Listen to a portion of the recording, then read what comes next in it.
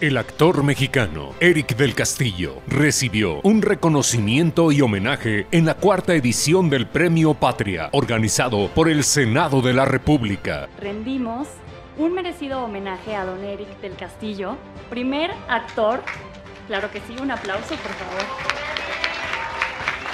con más de 70 años de carrera, quien ha participado en más de 300 películas, 50 novelas e innumerables obras de teatro su destacada trayectoria en las artes escénicas lo hace merecedor del Premio Patria en pro del bienestar y el sano entretenimiento en México y el mundo. Don Eric del Castillo agradeció que hayan tomado en cuenta sus más de 75 años de trayectoria artística, al tiempo que pidió impulsar la danza, la música y otras expresiones artísticas, así como proteger a las personas que se dedican a estas actividades. Agradezco muy sinceramente esta distinción de Premio Patria.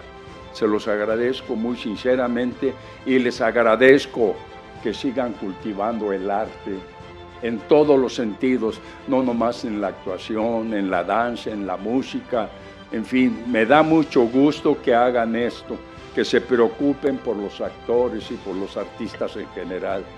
Así que agradezco profundamente el Premio Patria. Muchas gracias. Cabe señalar que fueron los senadores Amalia García Medina y Juan Carlos Loera de la Rosa quienes encabezaron la ceremonia para la entrega de esta reciente edición del Premio Patria, que reconoce a mexicanos que destacan en el ámbito de la salud, justicia, economía y el bienestar, siendo esta última categoría la que el celayense Eric del Castillo fue reconocido.